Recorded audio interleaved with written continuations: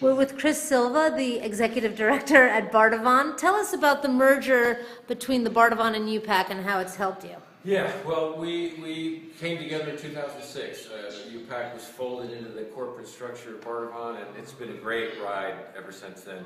Uh, you know, we've gone through all the ups and downs of the economy, and UPAC has proven to be a very strong uh, part of our mission. Um, 600 more seats in the Bardavon, it makes it possible for us to actually make money in the shows, which is critical to our survival. But also, we've been able to bring the best artists in the world to Midtown Kingston, and that's a good thing.